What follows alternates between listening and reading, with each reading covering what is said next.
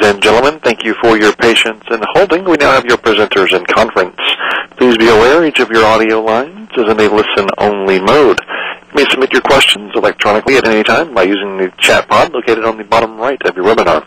It is now my pleasure to introduce today's first presenter, Mr. Chris Hund. Thanks a lot, David. Hi, good morning or good afternoon to you, wherever you are. Uh, this is Chris Hund, uh, Director for Clinical Quality at the Health Research and Educational Trust. I'd like to welcome you to today's monthly TeamSTEPPS webinar. Uh, this is on IPASS uh, and integrating high-quality handoffs into TeamSTEPPS and hospital care. So just a few, few rules of engagement here, and I'll be brief, but um, you could access the audio for your webinar in two ways, and this is important. If you're listening to the uh, webinar via the phone number that we gave you, please make sure to click off the little speaker you see in the top of your screen. Otherwise, you'll get some feedback, like when you call into a radio station and, and hear yourself. So just make sure to mute that computer speaker. Uh, or you can listen directly through your computer and you don't need to call into the phone at all. So it's your choice, really, what you want to do. Uh, we will have a Q&A session at the end of the presentation. Uh, they are there are going to be a lot of people joining. There already are a lot of people joined, and so if we don't get to all of your questions, what we'll make sure we do is we'll make sure that we we sit down with our presenters for today and uh, do our best to get everybody's questions answered, and then post the questions on the website the end of the day, or not at the end of the day, sorry, uh, in a few days, so that you can uh, be able to see uh, the answers to your questions. To that point, we really encourage you to use the chat box to enter your questions in. This way we can capture all of your questions, number one. Uh, number two, it also helps us to be able to kind of order the questions for the Q&A session to see if there are questions that follow a same thematic line that we might want to try to clump together uh, when we get to Q&A. So, so we really uh, encourage people to use that chat button for the Q&A.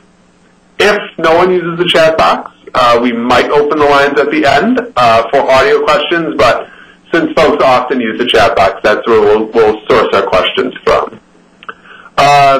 This project is sponsored by the Agency for Healthcare Research and Quality. Uh, thanks to uh, Jim Battles there and to Heidi King from the Department of Defense for their continued support of all the TeamSTEPPS work, both with the military and the civilian worlds. Like I said, I'm Chris Hund. I'm a member of a, a rather large team here at the Health Research and Educational Trust that does all kinds of work, not only these webinars, and we also, uh, thanks to IMPAQ International, uh, Dr. David Baker and uh, Andrea Amadeo for all of their help as well. Um, we, uh, as a part of the TeamSTEPPS program, offer, ma offer master training courses, uh, which you can come to our website and look into if you're interested in attending. We also offer master training courses for uh, primary care medical offices, ambulatory type settings. Uh, we have a lot of webinars. We do a monthly one, and we have them scheduled right now through September of 2015.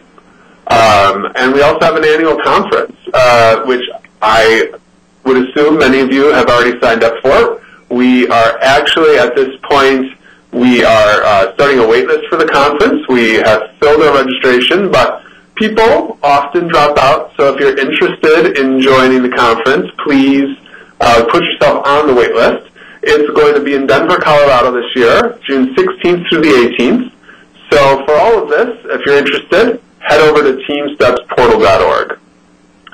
Uh, any questions you ever have about TeamSTEPPS, be it content or logistics about how to come to a training, email there, AHRQTeamSTEPPS at aha.org, or we have a phone number that you can call. All of this is available on our website, of course, if you need it. So, um, I promised to go fast to get to our presenters. Uh, today's presenters, uh, two gentlemen, Dr. Christopher Landrigan and Colonel Clifton Yu. Uh, Dr. Landrigan is from uh, the research director at Boston Children's Hospital. Also works uh, as a director for uh, sleep and patient safety program at Brigham and Women's Hospital, uh, also in Boston, and is associated also as a professor of medicine and pediatrics with uh, the Harvard Medical School. Um, and uh, Colonel Yu is the director of graduate medical education at Walter Reed and is also an associate professor of pediatrics for the Uniformed Services University of the Health Sciences. So uh, two very distinguished guests we have here today to talk about their study. I'm really looking forward to hearing from them, and so I'm going to turn them over, turn you over to them now. Gentlemen? Thanks very much, Chris. This is uh, Chris Landrigan. So I will um, start start off by speaking a little bit, and then Cliff and I will go back and forth uh, over the next period of time, talking about different aspects of our project. So what I'm going to what I'm going to do is start off by talking about just some background literature, very briefly, on handoffs, miscommunications, and patient safety, and then that will lead us into a description of uh, the IPASS study that we've been conducting over the past several years, um, both the development of curriculum as well as the results of the analysis and investigations themselves. Um, just by way of disclosures, I have done a little bit of consultation around this work. As we'll get to towards the end of the program, actually, we do offer um, IPASS consultations to institutions that are interested in doing them. Um, there are some copyrighted materials in this from the IPASS study group, um, but we have permissions to use them. Um, so uh, I'll start with very broad background on patient safety, which I'm sure to this crowd is pretty familiar, but just to remind you, um, really we've known about the epidemic of patient safety in the States for about 15 years now, um, with the Institute of Medicine's original report back in 1999 To Err Is Human, where for the first time I think it was recognized that medical errors and deaths and injuries due to medical errors were happening at a really epidemic level uh, in this country. And for the first time, major efforts were made by the federal government and others to begin to stem the tide. Um, unfortunately, as we look about 15 years later, um, we still have a major problem on our hands. So Office of the Inspector General just in 2010 reported that there may be as many as 180,000 deaths each year among Medicare beneficiaries due to adverse events, which um, even if you were to assume that no one else in the population is injured, this would make medical errors about the third leading cause of death in the country. Um, but, you know, those original numbers uh, from the Institute of Medicine's report and the more recent numbers from the Office of the Inspector General are very difficult to compare for a host of experimental reasons as the methodologies have shifted over time a little bit. And so um, I was part of a group uh, a few years ago now that did a study in North Carolina trying to track changes in rates of harm over time in that state. And as you can see from the discouraging looking graph there, at least at that point in time, we weren't seeing a whole lot of evidence of improvement either. Um, although more recently, there has been at least a little bit of a hint in some disease conditions and um, in some in some types of medical errors that we're beginning to see some change. But you know, really, any way you look at it, this remains a major problem um, where there's a lot of a lot of need to have further improvement. Thinking specifically about um, some of the root causes of these things. One of the major sources of concern over the past decade or so has been the work schedules of providers, uh, providers in training as well as nurses and others. And um, I was involved in some work a number of years ago looking at the effects of sleep deprivation on resident physicians. Uh, we conducted a randomized controlled trial at Brigham and Women's Hospital where we found that when hours were reduced for interns, the rates of serious medical errors dropped off very significantly, really across different types of errors that we looked at. Um, but, you know, in trying to implement this change, it became very apparent uh, very early on that we had a problem with, with handoffs. In fact, I think we'd had a problem with handoffs, the communication between residents at changes of shifts that had been around for a long time. But as the shifts got shorter, in response to this intervention, we were having those transitions occur more frequently. Uh, whatever problem was there at baseline was exacerbated to some degree. And so while overall, nevertheless, we saw an improvement with reduction in hours, um, it began to occur to myself and a lot of colleagues here that we needed to start uh, doing something about this problem. In 2008, trying to take a fresh look at the problem of residency organization, the organization of academic medical centers in the states, the Institute of Medicine conducted a year-long review where they convened experts and reviewed the world's literature on this topic. And really fundamentally at that point in time came to the conclusion that the literature was sufficient to suggest that it's unsafe for residents to work for more than 16 hours in a row without sleep. And this um, ultimately led to the ACGME doing its own review of the problem and concluding that at least for interns, our first year residents, the um, the hours should be capped at no more than 16 hours in a row. But as both the Institute of Medicine and the ACGME looked at this problem, they recognized that it was not just a question of reducing hours in isolation of other factors. There had to be some effort to ensure and monitor structure handoffs, as well as to do a bit to improve uh, supervision so that we could make sure that residents were handing off effectively and that they were competent in the skill set and so forth. Looking at uh, data from, in this case, the Joint Commission, the Department of Defense, by the way, has very similar data. Um, when you look at the root causes of the most serious errors that happen in hospitals, so-called sentinel events, where, for example, the wrong kidney comes out during a, a surgery or there's a tenfold overdose with morphine that leads to a patient death, um, in analysis after analysis, communication rises to the top of the heap as the, one of the root causes of these types of events. And when you drill down into these a little bit further, it turns out that more than half of these communication failures are a frank handoff problem between one provider and the next, where, where there's simply a failure to transmit some critical piece of information or um, the wrong piece of information is transmitted. Um, when we train our residents about this, we now have a whole host of videos. These are available on our website, um, which we'll show later on, but it's iPassHandoffStudy.com, or you can just search iPass Handoff Study on, on Google, and you'll find us pretty quickly. Um, there's a whole series of videos and so forth that we've developed, um, largely under Cliff Yu's Center, um, as he'll describe in a few minutes, to train folks um, in these things and to, and to sort of look for some of the problems that we were seeing at um, baseline handoffs. But suffice it to say that as we looked at our own handoff problem here at Boston Children's initially, we saw lots of variability from one provider to the next to what was being transmitted, lots of tangential conversations, a failure to prioritize, a failure to be explicit about um, how ill patients were and sort of what uh, what things might go wrong and contingencies and so forth. Really, in other words, a whole host of just kind of organizational problems with the way that handoffs were being conducted. And you know, at that point in time, we had the sense that um, that this was a complex process. So as we began to take a look at it, uh, handoff really consists of multiple interactive components. There are, in most systems, typically um, both a verbal handoff and a written handoff, a written sign-out document that's, that's passed off between one provider and the next. These things overlap to some degree, but they are almost never um, exactly the same, and, and in general, that's by design. You often want more in the written sign-out than you've got um, time to convey verbally, but, but they should be complementary in some fashion all this is, of course, happening within a certain uh, unit teamwork environment and within a particular hospital with its own culture. And, and all of these things are potentially targets for intervention as you are thinking through ways that you might try to make the handoff process better. Um, as we began to focus in on what the best approach might be, we came to the conclusion that it would be better to tackle multiple avenues simultaneously rather than just to focus in on one of these elements as a possible route to success.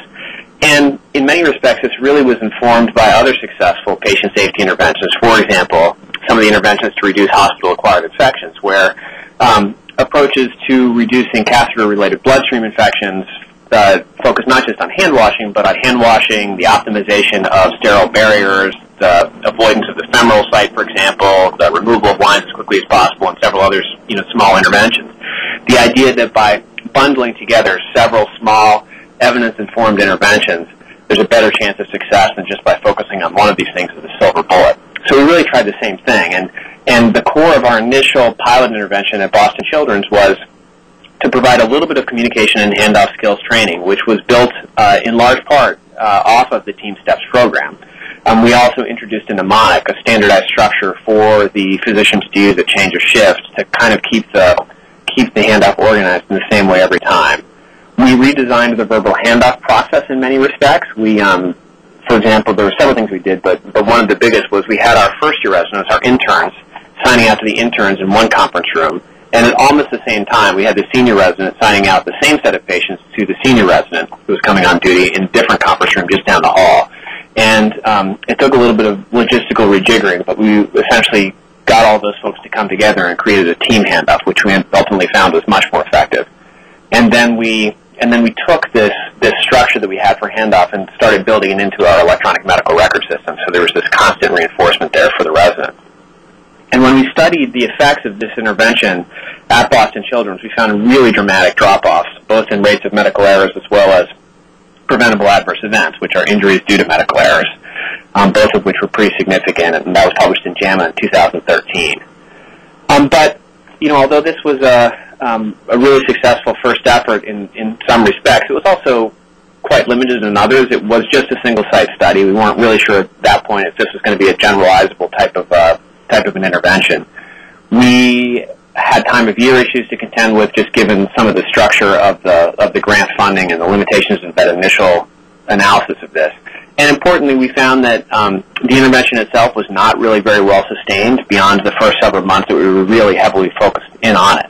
And so with a lot of feedback from the frontline providers, from the resident physicians who were using it at that time, we refined many elements of um, what ultimately ended up being the IPASS handoff bundle, and then began thinking about how could we extend this to involve more centers and be a, a higher quality, more professionally graded intervention.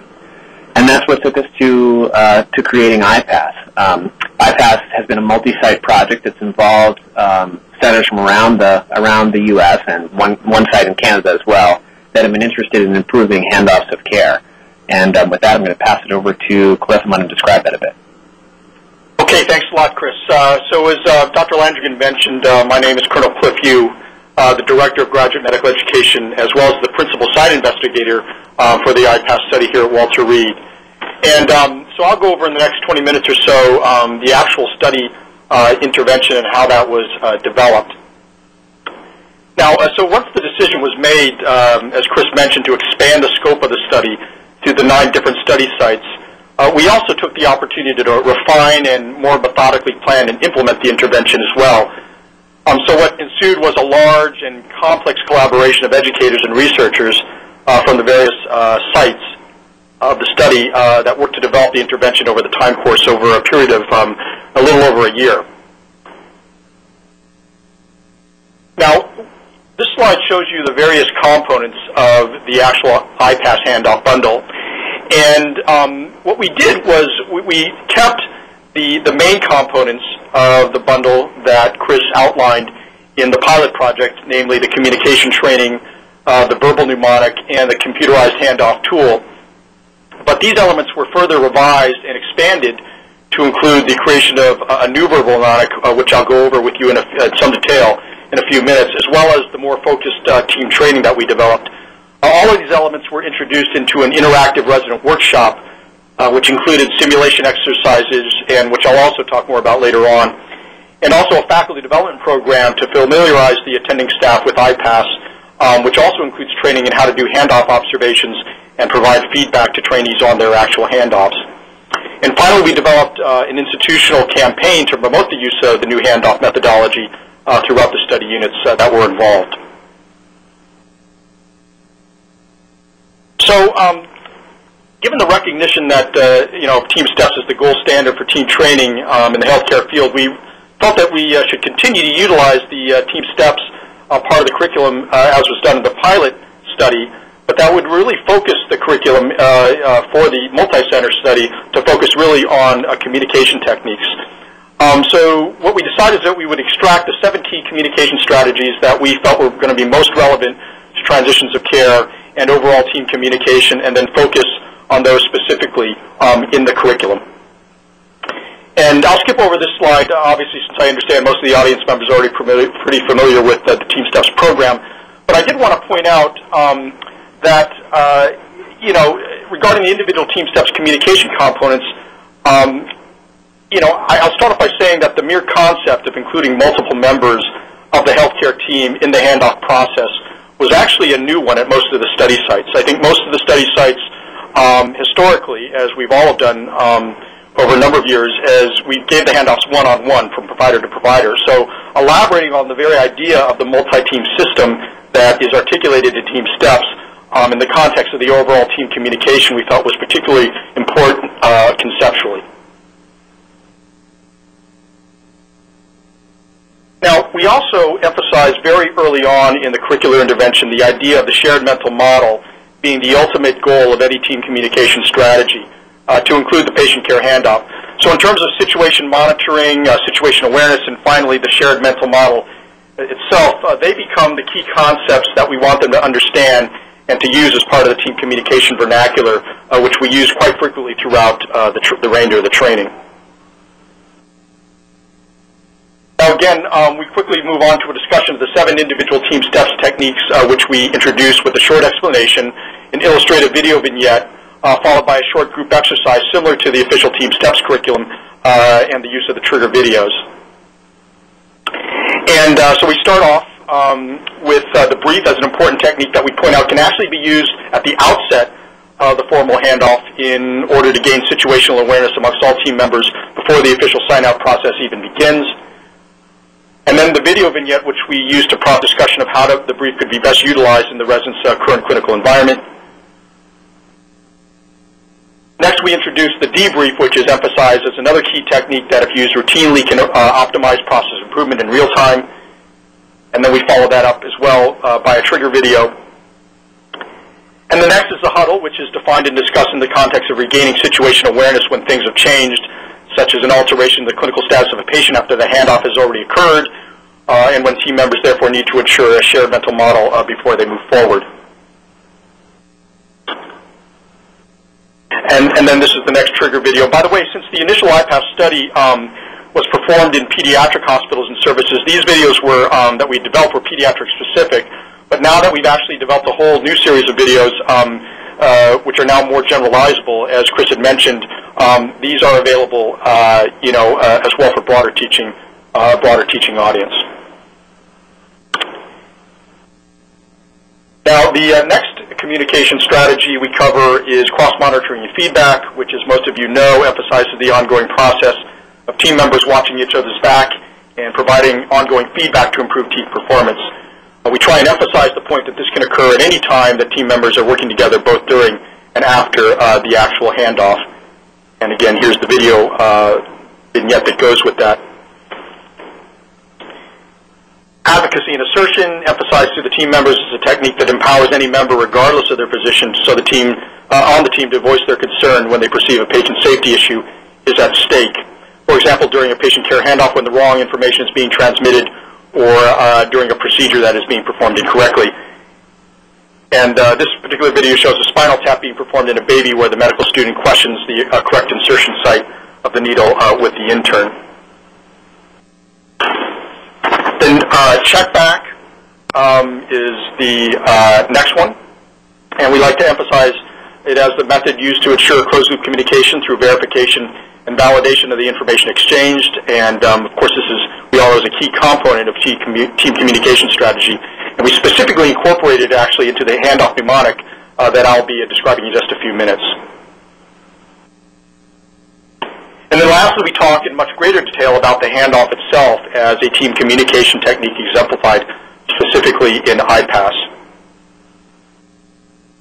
So uh, before delving into the IPASS mnemonic, we first like to discuss the global elements of effective handoffs that apply to both verbal and written forms of handoff communication, uh, specifically emphasizing not only the transmission of accurate information, but also the transfer uh, of authority and responsibility as well.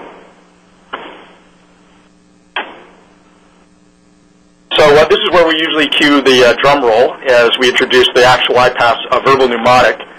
So here it is. Um, as you can see, um, the I is, uh, is for illness severity. The P stands for patient summary. A for action list. The S, first S is for situation awareness and contingency planning. And the second S uh, stands for synthesis by receiver. So just as a side comment here, um, the uh, mnemonic that was uh, chosen to be used in the pilot study that uh, Chris referred to was actually SIGNOUT, uh, which at the time was one of the few out of the two dozen or so published mnemonics that had any evidence base uh, behind them. But despite this fact, it was interesting. The feedback from the pilot study participants, Boston Children's, uh, was that it was hard to memorize and operationalize, and in fact, in the majority of the handoffs during the intervention period, uh, it was observed that the mnemonic was not actually used. Um, so development of the de, the de novo IPASS mnemonic that we created was therefore initiated with subsequent input from the residents in the pilot study, as well as with key members uh, and of the IPASS research team. So the ultimate goal was something that was going to be shorter, uh, easier to remember, and that included key elements that observing faculty in the pilot study often felt were lacking. Uh, for example, um, an illness severity assessment, uh, contingency planning, and some form of readback uh, by the recipient. To confuse things even further, uh, the use of the term IPASS to describe our handoff project actually predated the creation of the actual handoff mnemonic. So the IPASS mnemonic referred to originally stood for the two institution, uh, the two initial sponsoring institutions. In other words, the Institute for Innovation in Pediatric Education. Uh, the P stood for uh, the Pediatric Hospitalist Research Network, uh, known as PRIS, or Pediatric uh, Res- Research in Inpatient uh, Settings, and the remainder of the mnemonic referring to accelerating safe sign-outs. So that's what IPASS originally referred to in terms of the project. So as the IPASS handoff mnemonic was developed, it became clear that this would be much uh, catchier and easier to remember, and not coincidentally would also end up mirroring the name of the study. So um, let's uh, go over each individual component of the IPASS mnemonic, and I'll start off with uh, illness severity um, and why we feel this is so important. So to really gain that sense of situation awareness and a shared mental model that we discussed in the team communications section, uh, it's absolutely critical that all team members have a mutual understanding of what the sickest patients or who the sickest patients are and where the attention needs to be appropriately focused. So although the language used to define these categories may vary by institution, we introduce a simple graded system of, classification, uh, of classification as shown in this next slide. And the categories specifically are stable, uh, watcher, and unstable. And for many providers, uh, the watcher category may be a new term, and so we describe it uh, explicitly as referring to those patients who are at risk of possible um, imminent deterioration. So by definition, an unstable patient should either be in an area with the highest level of monitoring and care available, uh, such as an ICU or on the way to getting there. And we also like to emphasize that this is a determination we'd like to make at the time of the actual handoff, since we, as we all know, changes in patient status are uh, actually quite fluid. The next element of the handoff is the uh, handoff mnemonic is the patient summary, which is one of the most important elements of the entire handoff process, and the one component that takes the most uh, cognitive skill and uh, practice to master. And so uh, a good patient summary feel needs to be succinct uh, yet rich and descriptive. And uh, as um, part of the IPASS curriculum, we define five major sections of the effective patient summary uh, as these that I show here on the slide as being the summary statement, the events uh, leading up to the admission, the hospital course, ongoing assessment, and the actual patient care plan. Now to start off with, the summary statement is the one-liner that sets the clinical context and contains key identifying information such as the name of the patient, age, the gender, pertinent past history, and the reason for admission. The events leading up to admission section includes the chronological order of events, the essential history components, and any pertinent physical exam and lab findings. And ideally, this section should be in bulleted format and can ultimately truncate, be truncated when a high level of diagnostic certainty is attained. The ongoing assessment, uh, assessment reflects the critical thinking and diagnostic reasoning or thought processes that are related to the problem or diagnoses. For example, the giver of the handoff might say, this patient's left lower lobe pneumonia is not improving clinically, so I think we should need to move to uh, uh, thinking about a complicated pneumonia with effusion, or perhaps we need to expand our antibiotic coverage. So again, it allows the giver of the handoff to explain the thought process behind the management plan. And then lastly is the plan itself, which ideally should include a specific plan for each problem or diagnosis, which would be uh, otherwise known as a problem-based plan. Or in some clinical services, like in many ICUs, they may prefer to do a systems-based plan organized by anatomic systems. So again, this can be adapted specifically for the individual clinical service uh, that is involved. So putting it together, a good patient summary uh, we feel allows for both the giver and receiver to attain a shared mental model, uh, helps to transmit concise information as well as responsibility uh, for the patient, includes unique features of the patient's presentation, and we use rich language in the form of semantic qualifiers to ensure high quality. Now, this next slide helps us define uh, what for many is a new concept, and I'll just take a couple of minutes to define the idea of the semantic qualifier that I just mentioned. So semantic qualifiers um, are used to provide vivid descriptions uh, that allow uh, physicians and clinicians to conjure up mental images about the appearance of a patient. They also provide a characteristic pattern uh, of presentation that can facilitate pattern recognition. So, for example, a child with development of swelling in the right knee over a two-day span can be rephrased as a two-year-old with acute monoarticular swelling of the right knee, which would give the mental pattern, perhaps, of a septic arthritis to a pediatric clinician. Likewise, a patient with uh, bouts of upper abdominal pain over the past six months that come and go becomes an adolescent female with recurrent intermittent epigastric pain. So this clinically concise and patterned language should be used as much as possible. We encourage its use in the actual handoff, uh, in particular when communicating the patient summary. And we give uh, the participants actually a chance to practice this, practice this in the workshop as well. Now the third element of the IPASS mnemonic is the action list.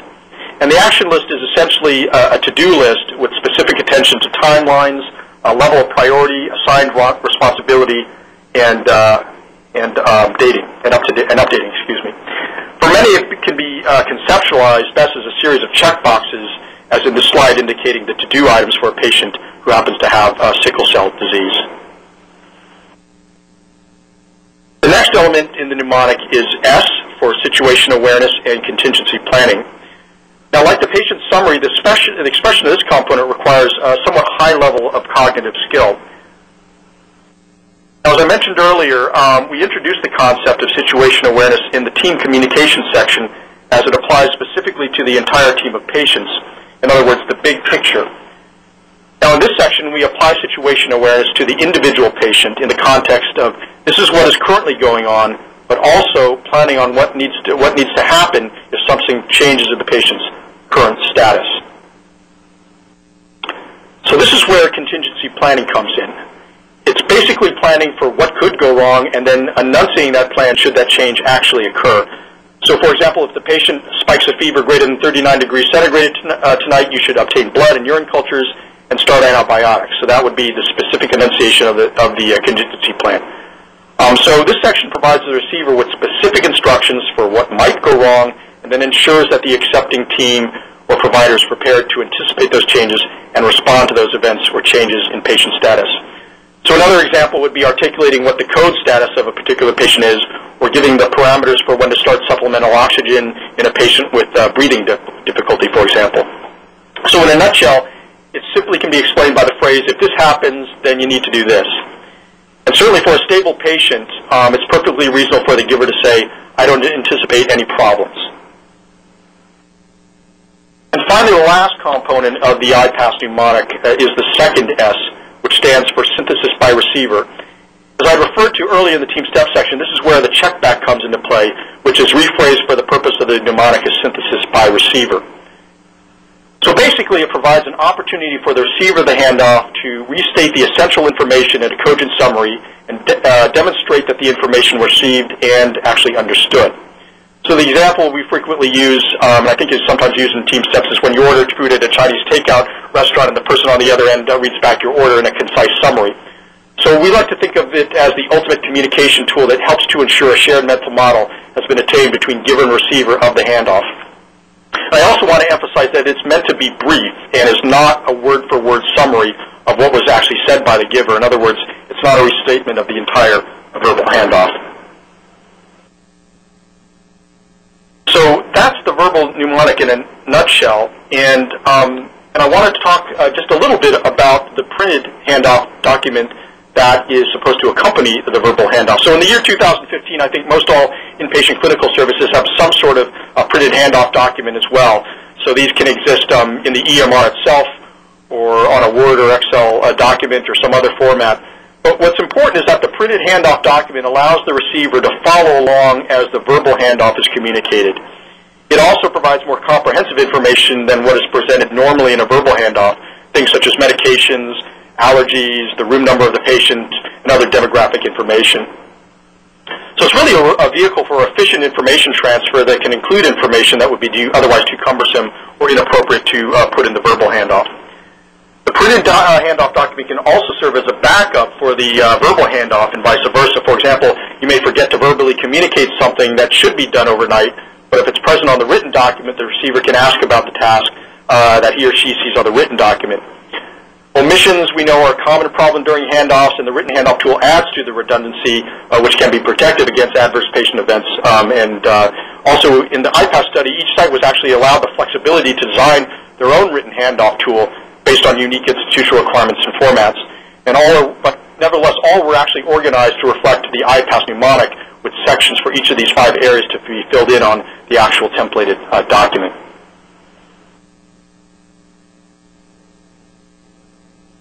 So uh, the fourth component of the handoff bundle is the resident workshop, um, which was designed as a three-hour curriculum containing the core elements of the team communication uh, skills training, as well as an introduction to the verbal mnemonic and written handoff document. So the first part of the workshop lasts two hours and was designed with adult learning theory, uh, theory principles in mind, such as frequent use of trigger videos and discussion, interactive exercises such as writing out and verbally articulating patient summaries, and then rounded out by an entire hour dedicated to role play scenarios where the residents get to consolidate their skills as givers, receivers, and evaluators of the handoff process using the IPASS mnemonic, uh, the written handoff documents, and the observation tools. To augment this, uh, to augment this workshop, we also developed other curricular components to include an online just-in-time training module to reinforce the skills just prior to when the residents rotate on their inpatient rotations, given the fact that the timing of when they participate in the three-hour introductory workshop may be remote from when they start on their ward rotations. So that essentially allows them the opportunity for them to get a, a little refresher uh, prior to actually um, working on the inpatient unit. And for the faculty, we have a one-hour workshop that reviews the IPASS handoff techniques and then more specifically focuses on the observation tools that they are asked to utilize in order to evaluate the handoffs. Now, by the way, direct observation and evaluation of handoffs is now mandated by the Accreditation Council for Graduate Medical Education in all of its accredited programs. So that adds increased weight to this particular aspect of our intervention. So we also show them videotaped handoff simulations so that they can practice with the observation tools before actually using them to evaluate live handoffs uh, with the residents. And here's uh, just some examples of the observation forms that we utilize to evaluate the giver of the handoff, um, the receiver of the handoff, as well as the written handoff document. And these were developed specifically for the study and were pilot tested and revised multiple times to demonstrate and confirm uh, tool validity. And then finally, we realized that one introductory workshop or education section would not nearly be enough to make IPASS known across the study sites or even let alone uh, within our own institutions. So we were very conscious of coming up with multiple ways to communicate the vision and the ultimate goal of IPASS with colleagues, uh, trainees, nursing, allied health, and senior management. So in addition to branding with the uh, IPASS logo, we made sure that every provider received a pocket card with the essential elements of IPASS that they could stick in their coat or shirt pocket. We also made IPASS posters to disseminate throughout the units involved. We printed computer reminders that attach to screen frames, uh, made flip charts with the specific ISAP, IPASS tips of the day distilled from the larger curriculum, and even distributed fortune cookies uh, that we had made up with IPASS tips inside, as well as other novel ways to get the message out. And as a key part of the curricular intervention, we developed a number of visual examples of what uh, right looks like, uh, as Chris uh, talked about, and we have now gone on to create multiple specialty-specific examples in our library of video vignettes, which we uh, can't show you here, but would be happy to share with you should you want those on request. And now I'll hand it back over to Dr. Landrigan to uh, finish up with a discussion of the larger IPASS study results as well as our ongoing plans for nursing dissemination.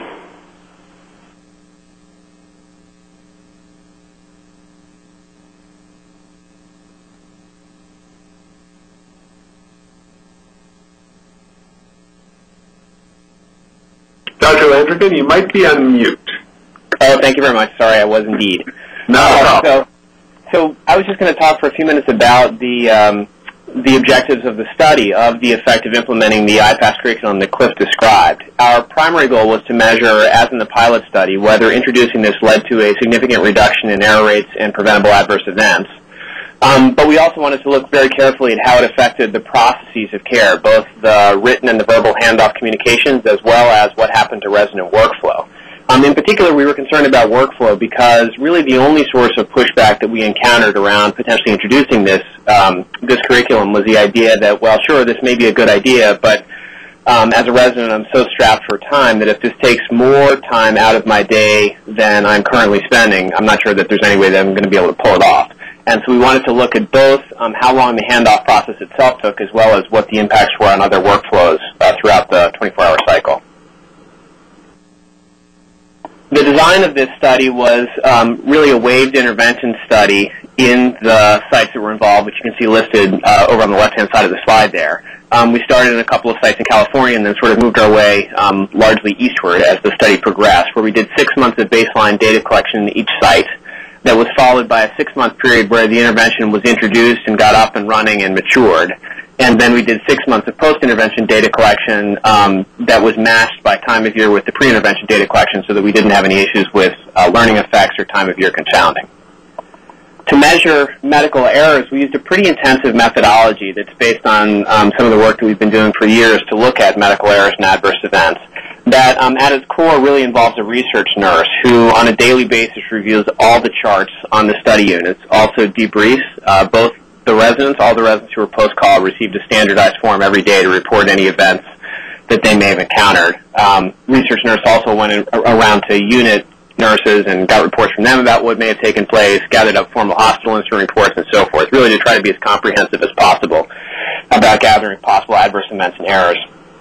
And then anything that's detected um, through any of those methods was uh, coded and reviewed by two physicians who were blinded as to whether this was detected before the intervention or after the intervention and at which site in general.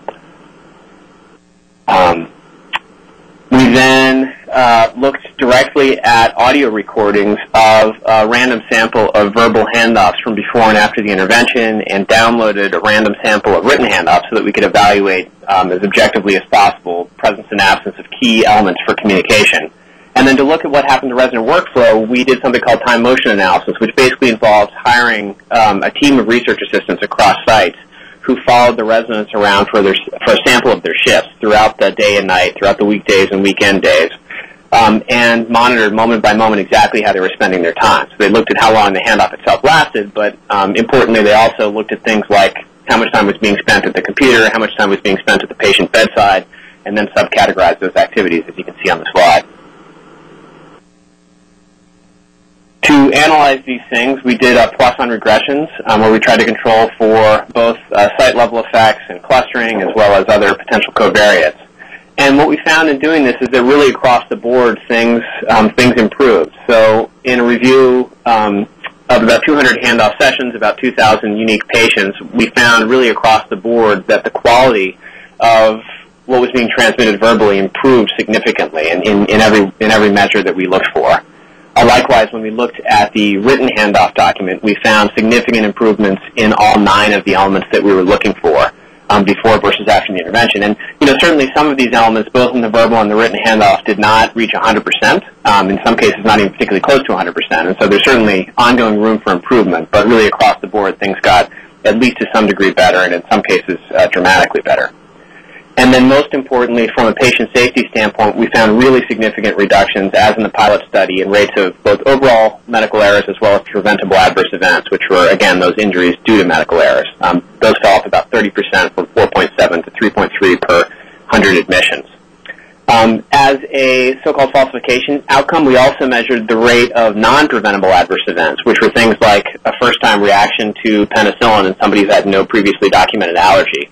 Um, really to make sure that um, we wouldn't expect those things to have changed with our intervention, but we were measuring them anyway, just in case, um, to, to make sure that there was nothing that was funny that was happening, of which we weren't aware, and those, as expected, remained stable.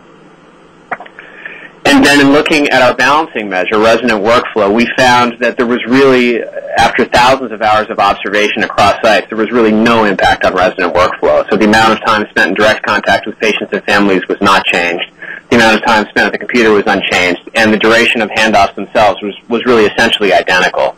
So in other words, whatever the synthesis and the various other elements and structures that we were adding added um, was, was, was perfectly counterbalanced by the efficiencies created by streamlining some of what the residents were doing, and I think by getting rid of some of the tangential conversations that were happening more frequently at baseline as we as we developed the program, um, we began to be approached by some of the nurses, initially at Boston Children's, and then some of the other sites that were involved as well, saying, "Well, you know, this is great for residents, but do you think that this would be useful for nurses as well? We likewise have a problem with our handoffs and can potentially benefit from some structure." And so we began forming a team to work on IPASS for nurses um, as well, and developed a number of nurse-specific training materials, written handoff tools, and video vignettes uh, for that. Um, for that population of healthcare workers as well. Um, and then we engaged in two small studies to take at least an initial look at how this worked. Both of these were uh, at Boston Children's, and one of them also involved Lucile Packard, which is one of the other IPASS sites, where we um, began using IPASS for nurse handoffs, either at change of shift or as patients moved locations within the hospital. For example, going from the emergency department up to the floors or from the operating room up to the ICUs. And as we did so, um, we found, as was reported in, in the Journal of Pediatrics about a year ago now, that um, that the use of IPASS was associated with maximum score for sustained improvement in handoffs. Um, you know, really across sites, there were improvements in, in a number of institutions, 23 institutions that were involved in this collaborative. But um, the two sites that were using IPASS uh, were some of the highest scores in the group. And when we look specifically at our own data from, from Boston, we found that the incidence of nurse handoff-related care failures fell really dramatically, um, particularly in the ED to inpatient unit transition, but, but also across the other types of transitions that we were evaluating to a lesser extent once they started using an IPASS structure. We also did, as we had with the residents, a little bit of direct observation of verbal handoffs and time motion analysis, and these data are still preliminary, but at least at our first glance, um, really across the board, um, the quality of what was being transmitted in handoffs improved. You know, the severity assessment, action items, upcoming possibilities, in other words, contingency planning being discussed, and opportunity provided for questions and some synthesis. And we also found that with the nurses in particular, the frequency with which interruptions were occurring during handoffs fell off quite significantly after they um, started getting trained in this stuff. I, I think because they became much more attuned to the importance of having a a sort of sterile environment for the handoff, at least to the greatest extent possible, and not, not interrupting one another for this safety critical event. Since the time of uh, these original studies being conducted, we've made a lot of efforts in the past 18 months or so to begin disseminating our work. Um, in fact, even before that time, we um, went live with our website, which is ipasshandoffstudy.com, where uh, most of the curricular materials that you have been um, hearing about for the past half hour or so are available uh, for free online. Um, all you have to do is sort of go into the website and click this Request Materials button that's up towards the top of the slide, and that will provide for you, um, we'll ask for just a little bit of basic information about you since we're trying to track what usage may be for this, and then you'll be given access to all of the materials. And we've also downloaded these materials, or uploaded these materials rather on MedEd Portal, which is the peer-reviewed curricular website that's hosted by the American Academy of Medical Colleges um, as a series of modules, and so they're, they're accessible through that as well if you prefer. Um, and we have begun to take a look at how things have disseminated. This is a little bit out of date. We're actually up close to 1,500 downloads now, but really, um, point of the slide is we're beginning to see some pretty broad uptake across across the U.S., but at least to some degree beyond that as well, which is really exciting to see. And when we've looked at the breakdown of what specialties are using this, while certainly um, the largest slice here has, is in pediatrics, not surprisingly, since that's where we started. As Cliff was suggesting, um, with some of the adaptations that we have made across specialties, we're seeing um, really a lot of usage across across um, other subspecialties and across other disciplines as well, with nurses and, and other folks in that left-hand pie chart uh, beginning to download the materials and use them themselves as well. Um, in addition to these initial dissemination efforts, we have um, launched a couple of new projects that, that have, have really begun with IPASS Roots. Um, we received some funding from the Agency for Healthcare Research and Quality about a, uh, just about a year ago now to study the dissemination of IPASS through 32 more hospitals, 16 pediatric and 16 adult. Um, where we're, we're looking at what factors are that are associated with adoption and trying to track adherence statistics. This is being done in, in partnership with the Society of Hospital Medicine. And then we also received a grant from PCORI to begin taking some of these communication techniques that we have developed through IPASS and extending them into family-centered rounds and other communications with families throughout the day. And that's been a really exciting project that has gotten us partnering much more um, heavily with nurses, with family members, and others to think through how do we tailor some of this language to be appropriate to different levels of health literacy, people with different backgrounds, um, folks with different proficiency with English, and so forth, so that hopefully we can more effectively engage family members as active members of the patient safety team, if you will. We also, as I mentioned at the very beginning, have a consultation program now where we're working with a number of institutions that, even outside of a study context, have been interested in trying to implement this program. Um, Massachusetts General is probably the first furthest along of the various hospitals we've worked with, where they're really in the process of implementing IPASS as a standard for uh, handoff communications across the institution, including both nurses and physicians, um, as well as all allied health workers. um, really for all different types of communications. And we're working very intensively with them to do some adaptations of our curriculum for that purpose and to train um, a, a, very large number of nurses and physicians there. The um, just want to end with a couple of thank yous before questions and answers. Um, the primary funding for this came from the Department of Health and Human Services. We've also had a lot of funding from other um, private and public sources to get this to get this work done, um, for which we're really grateful. And as we move forward, we have ongoing funding, as I mentioned, both from AHRQ and PCORI. Um, in addition, we'd just like to thank the other members of the IPASS team. Um, Cliff and I are featured in this photograph, but it's a large group, and this is really only a small fraction of all the people who are involved. There have been, um, with the IPASS study, the original IPASS study, there were about 50 investigators involved, and we, are now up over 100 um, from across sites that are involved in this project, which has been just a fantastic group to work with. Um, and with that, uh, we'll stop and glad to take any questions. Thanks very much.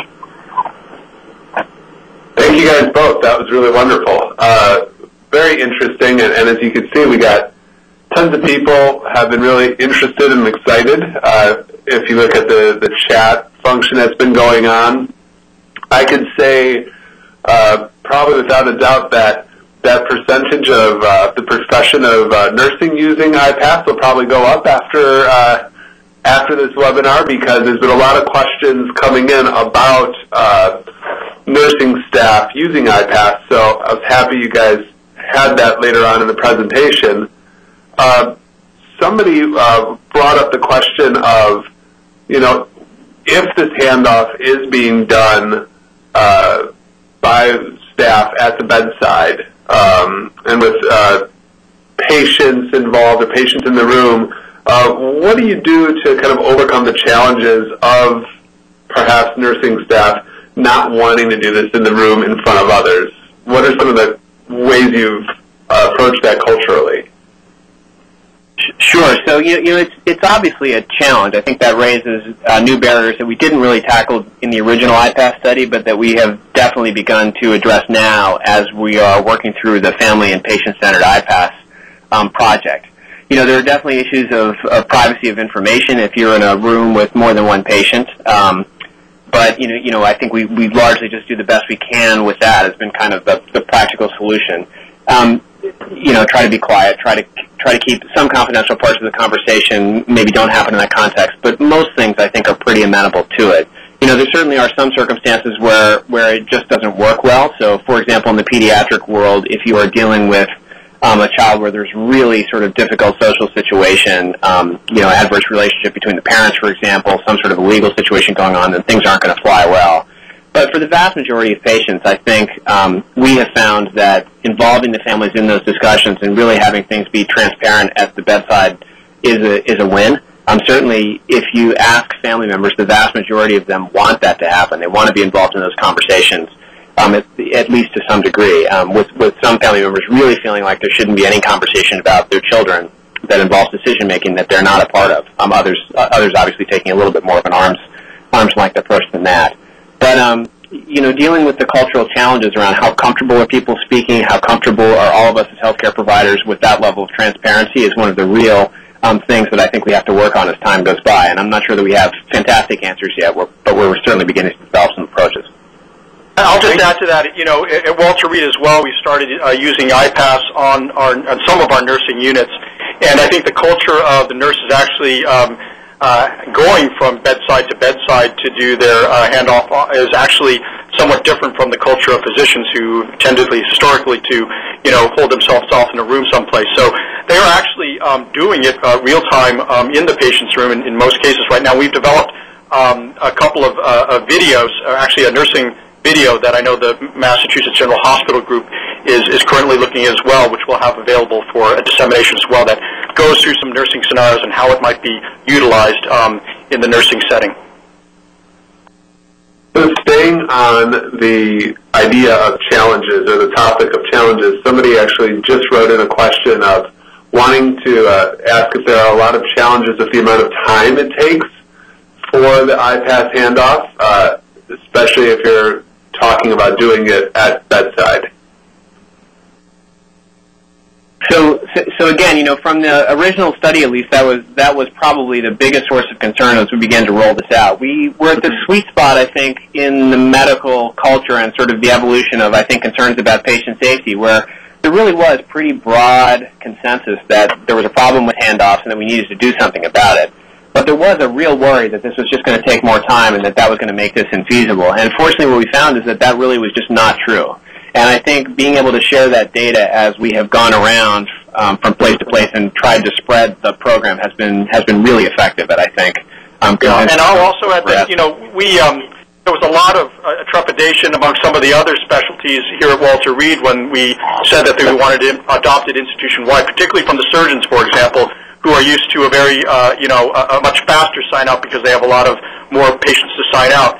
And we've actually, um, you know, had the surgeons develop some scripts to show that they can do it quite efficiently using IPASS in, you know, in the space of like 20 seconds per patient uh, along those lines. And so it actually, you know, we've left it up to um, the interpretation of individual uh, clinical services to determine how they would use it, but we found that it actually could be very uh, effectual and efficient at the same time. Thanks. Well, uh, changing gears a little bit, uh, you talked about, uh, and just brought it up right there, the idea of spreading this to other units. I know you said you altered it somewhat for different clinical environments. Has there been any work on IPASS for the transition post-discharge, going maybe to a long-term care facility or just uh, back into the community, uh, getting information to a primary care provider, perhaps? It's a, it's a really great question. It's something that we're actively thinking about right now, but it's not. Um, that's not an area that we've broached as yet. Okay. Think we're thinking about it a lot. With those, uh, some of those changes, some of those alterations, even uh, what were was there something uh, like a major change somebody was curious about uh, between the ED going to ICU or the ED just to a normal uh, inpatient bed? How much does IPASS alter when you consider different settings? Well, I think you know Cliff should speak to this as well, since he's a lot of experience doing this at Walter Reed. But you know, my sense of it has been that the the major thing that changes is what's included in the patient summary, um, what key data elements need to be transmitted there, and sort of what the focus is for particular clinical disciplines in in particular settings. The other framing elements, which are really about um, maintaining situational awareness, prioritizing the sickest patients, making sure that we're thinking about what could go wrong, and doing the synthesis. Those things work really pretty pretty well and consistently across across settings. Um, but you know, the whole thing I think can kind of accordion up or accordion down depending on the complexity of the patients and how familiar the various clinicians are with them. Yes, I'll add to that. You know, we certainly, so the way we did it here at Walter Reed was we enunciated in the hospital that this was going to be our standard transfer of care policy throughout the hospital, nursing, medical, from unit to unit on, you know, individual sign-out, whatnot. Now, of course, we need to operationalize that, you know, across multiple different clinical services, and that's very difficult. But as Chris said, I think, you know, already I think most clinicians are familiar with giving some degree of a patient summary, obviously, in an action list or what needs to be done. I think the, the, the kind of novel ideas here, uh, particularly in the IPASS um, bundle and the mnemonic specifically, is the idea of specifically stating illness severity, specifically stating contingency plan, and the readback or the synthesis by receiver. And even that, we've already gotten our ER to, the folks in the ER to be able to utilize that when they're transferring patients to uh, the floors or to the units and so on. So it's slowly but surely getting there, but really it isn't so much of a quantum leap uh, from what's, uh, what they're kind of doing already. Thank you both. Um, I know that we are uh, at the top of the hour. There are other great questions that are here, and so uh, as uh, we said at the start of this, we'll, we'll make sure that these questions, uh, you know, we, we try to answer everything, and uh, we'll get this up on the teamsteppsportal.org uh, within a matter of, days. Won't be right away, but we'll get it up. We'll also get a recording up of this presentation, transcript, so that you can share this with others if you're if others are interested in your institution watching it or, or reading the transcript. But I'd like to thank uh, both Colonel Yu and Dr. Landrigan for all of their work on this and for taking the time out to present to us today. That was a really wonderful presentation, gentlemen. Thank you. Our pleasure. Thanks. Ladies and gentlemen, that concludes today's presentation. You may disconnect your phone lines, log off your webinars, and thank you for joining us this afternoon.